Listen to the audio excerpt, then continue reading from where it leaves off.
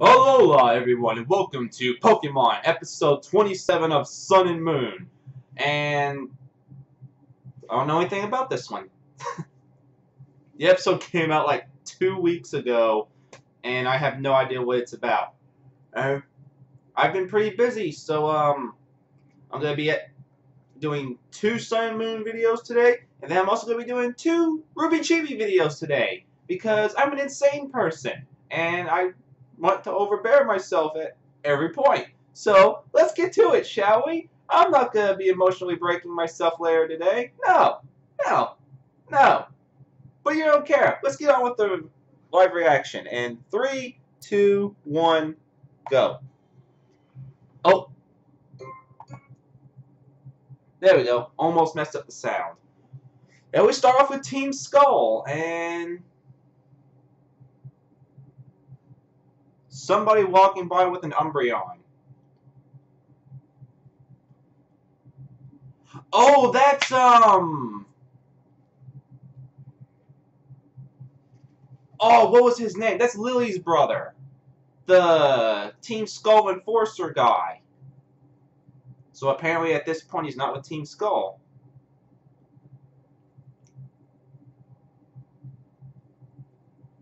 Alright, they're going to try and take his Umbreon. Very bad move.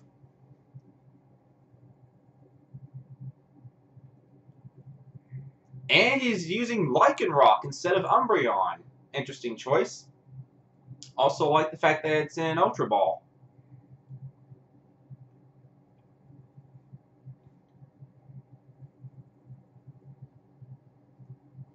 So now they not only won his Umbreon, but they won his Lycanroc. Alright. Do you all realize that Lycanroc is one of the fastest Pokemon in Alola? And it uses Stone Edge. Oh, that looks like it hurt. That looks like it hurt real bad. So does this mean Ash is going to get a midday form Lycanroc? Because that would have been perfectly alright with him getting midnight form.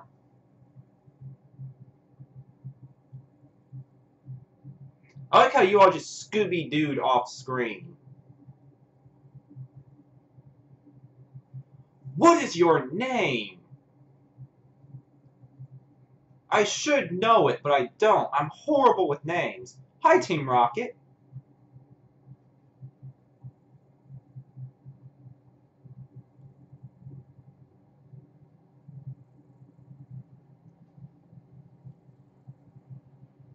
Alright, so now Team Rocket wants his Lycanroc. They're not going to fare any better. Shouldn't you all focus more on the fact of, you know, figuring out how to use that dark type Z crystal you all obtained? You know, I haven't forgotten about that. The red-eyed lichen Lycanroc. But all of Midnight Form Rock have red eyes. Why would that make it any special?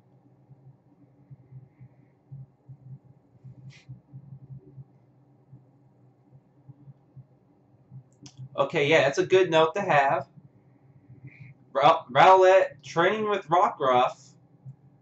Rowlet trying to use Tackle with his talons in the sand gets stuck and leaves a perfect opportunity for uh, Rockruff to use Rock Throw, counters with Leaf Edge, now it's behind him all Naruto style, and Rockruff takes a tackle dead center.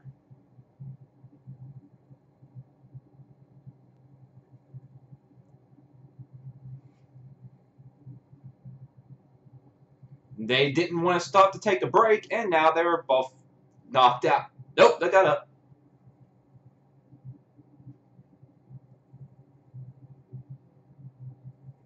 I really hope Rowlet evolves. Did Rowlet fall asleep while in the middle of talking to Pikachu? Okay. Litten Scratch didn't do much. Fire Fang! And it looked like it missed.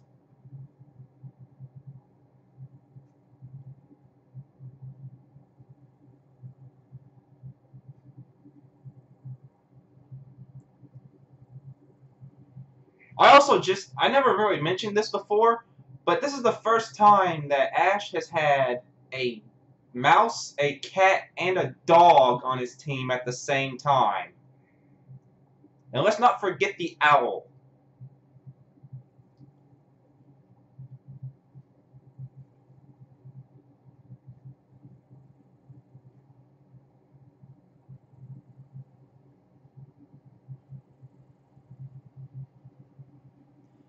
Hi, Charjabug, Who belongs to Sophocles and not Ash?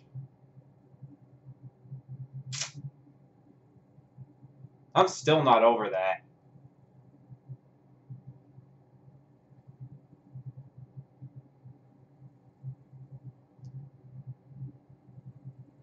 Okay, now they're talking about uh old what's his name from earlier.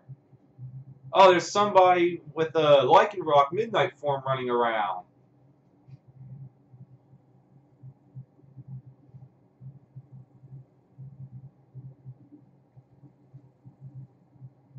And Ash is interested in challenging him, of course. I just like how all the Pokemon are just doing a conga line. Well, goodbye Blastoise out of nowhere.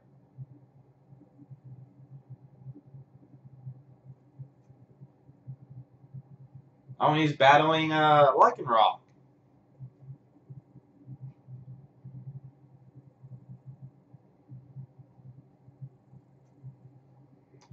Oh, and Ash is going to stumble across the battle.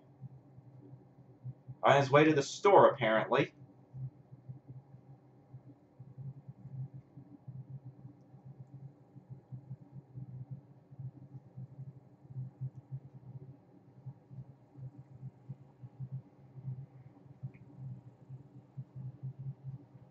Blastoise goes in with a Skull Bash, and Lycanroc uses Counter.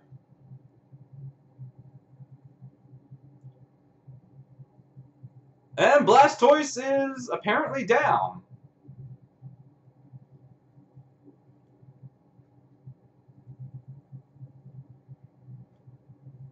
A 100 kilo Blastoise gets beaten with a counter. That is some impressive strength. Not to mention its speed. Hey, a Smeargle's in the background. I just noticed that while Rotom was taking a picture.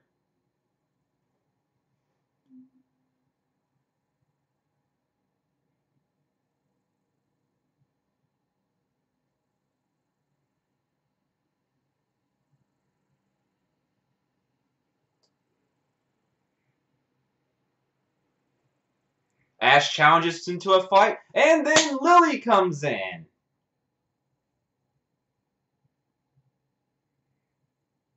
Wow, that animation on your face, Ash.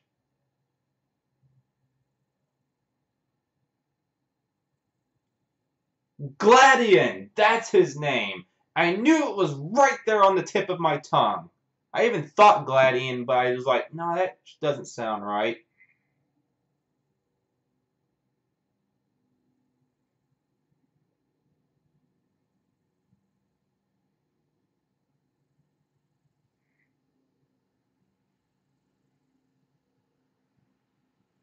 All right, so that's what I figured. He was a little. He was going to be the cold one to his sister.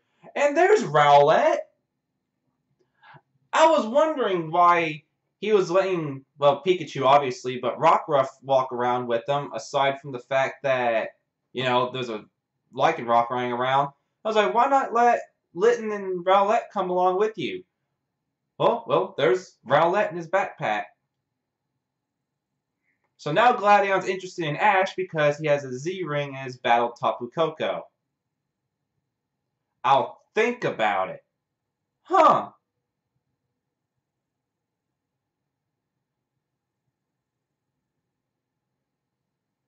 I'm honestly surprised they let in on the fact that he's Lillie's brother this early. I figured they were going to milk that for all it was worth. Alright, so he's been gone for six months, apparently.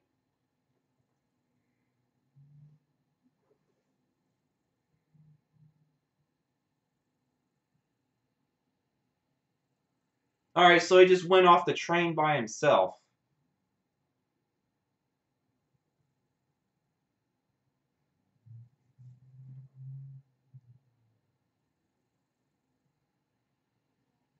Well, I mean, when somebody leaves and trains for six months, do you really expect them to come back the same? I mean, you could tell by the photo that he was a very optimistic, upbeat child. But with the way he is now, a little cold. I want a flashback with him holding an injured Eevee, which I'm assuming is his Umbreon.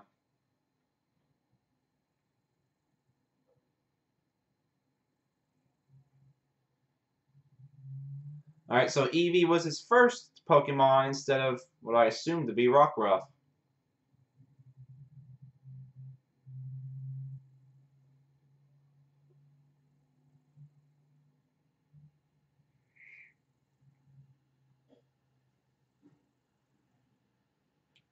Oh, hi, Butterfree.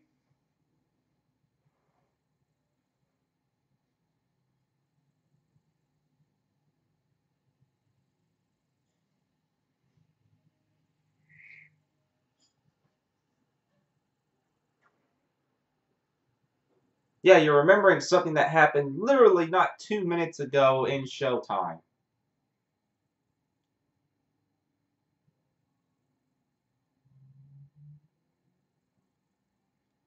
Alright, so now he's telling Professor Kukui about it.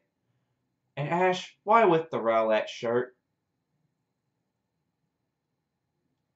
And Rockruff is playing around a lot.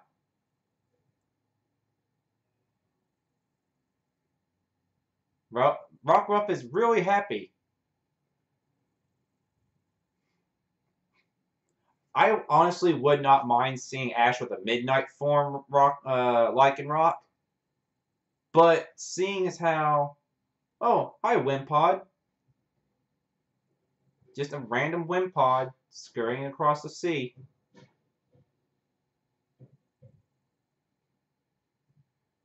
Everybody's asleep, and I'm assuming Gladion's gonna just show up all creeper style. No, but Umbreon did on the roof with a letter. Pikachu's to shock him awake, isn't he? Yep! You wouldn't wake up to me shaking you. I'm to electrocute you. Because logic.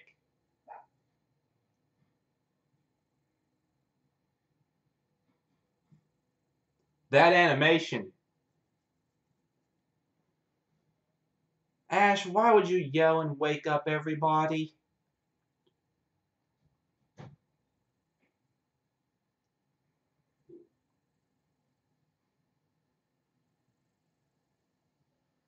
Intermission, intermission.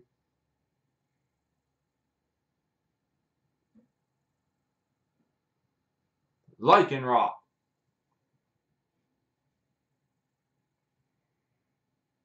Hello, Team Rocket. Are you going to come across that Wimpod and catch it and get a Golisopede, I believe it's called? Probably not. I would like it if you did. Just so one of them would be relevant to the story.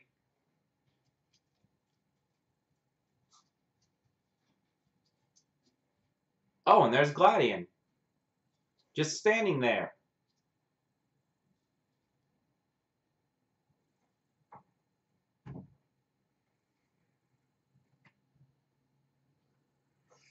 Alright, they're intrigued by a sunrise like that.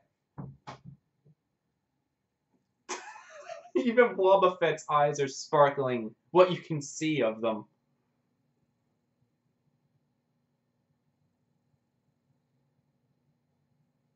I allow you to prove your skill.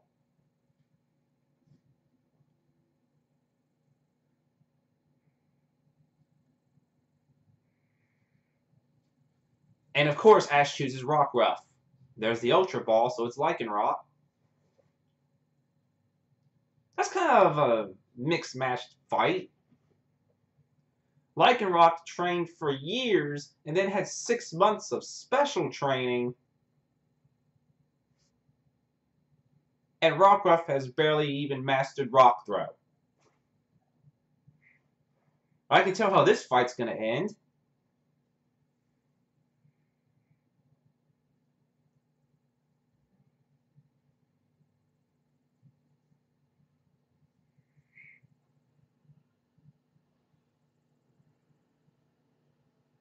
Yeah, and that bite did absolutely nothing.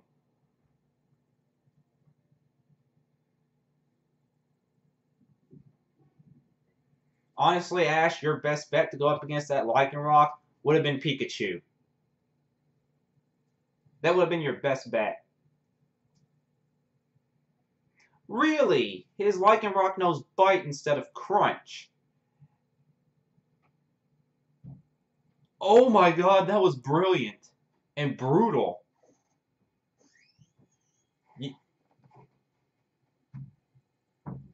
Used, had him. Hold on, I'm still processing that, that in my head. By the way, Team Rocket's interfering. So while they're doing their model, I'll say this. He used rock uh, Stone Edge. The rocks were coming up. He instant transmissions himself in front of Rockruff. He gets hit by the Stone Edge and then bite as soon as the Stone Edge is complete. That is brutal. I love it. And now, and now Team Rocket captured Lycanroc and Pikachu.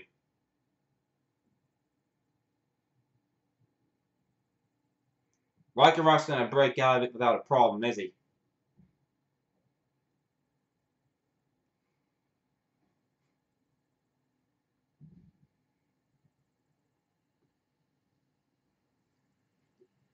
And now we're just going to keep chase with you all in a, in a Jeep.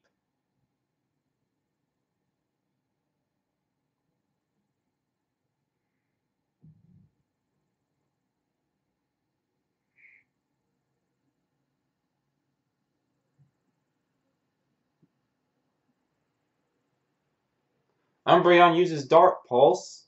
That ought to do something. And it blew out the tire. And the net is broken.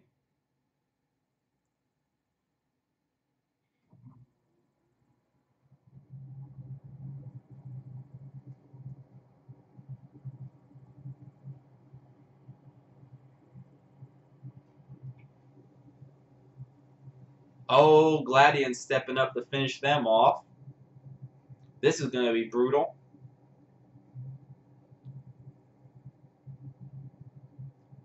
A Z-ring, the rock type. I was actually waiting to see the rock type Z-ring in action.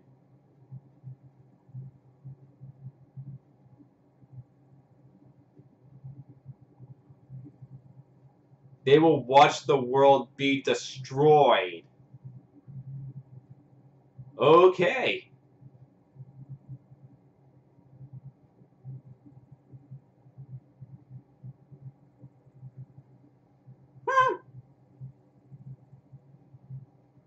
That's um that's a big rock.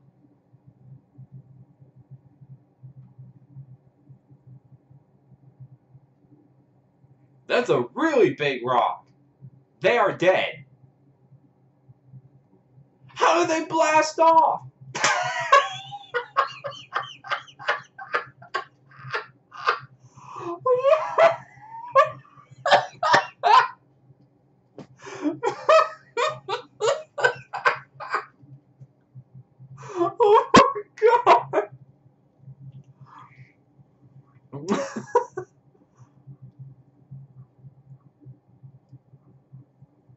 Okay, before I get to that, Gladion says to take on the queen of Akala Island in order to get Continental Crush. And there's Lillie. Ash now has to rush off the Pokemon school.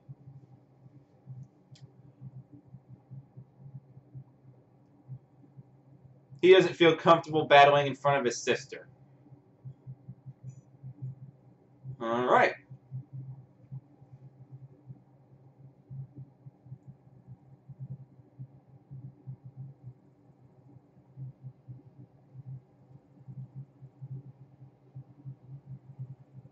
I wouldn't mind seeing Ash's uh, Midnight Lycanroc versus Gladion's like Midnight Lycanroc. I doubt he'll get it because, you know, Ash doesn't copy often.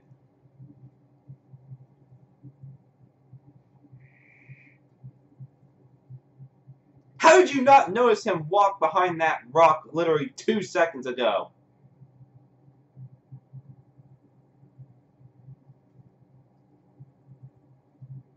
Alright, and that's the end of the episode. I'm going back to this one part. Where is it? Where is it? There's Continental Crush. Alright, Team Rocket blasts off. Bewear! Grabbing a palm tree. Pulling it back. Slingshotting himself. Catches Team Rocket mid-flight and then blasts off holding both of them. That is... Wow! Just fucking wow! Oh. That's the funniest Bewear catch I've seen thus far. That was amazing.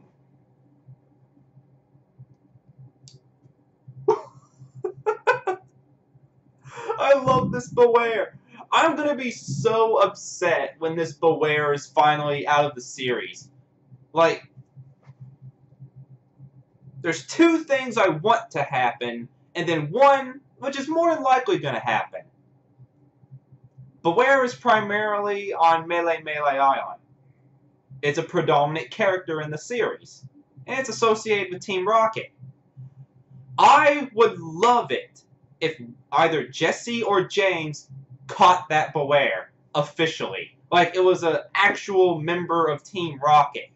I highly doubt that that'll happen, but I would like it to happen. The other thing, I would like Ash to catch it. Just because he would have a powerhouse fighting type on his team. I would be completely okay with that. But again, I don't think that'll happen. What I think will happen is the uh, kahuna of Melemele, the fighting dude. In the game, when you first fight him, he only has, uh, what was it, Machop and Crabrawler? I think it's Machop and Crabrawler. It's either Machop or, uh, I just forgot Hariyama's pre-evolution, but the pre-evolution of Hariyama, whatever that is, one of the two. But then the Elite Four, he has a Bewear. I'm assuming that's going to be his Bewear. But I'm rambling, so I'm just going to end it here. I will see you for episode 28, and I'll get started on that here in a second.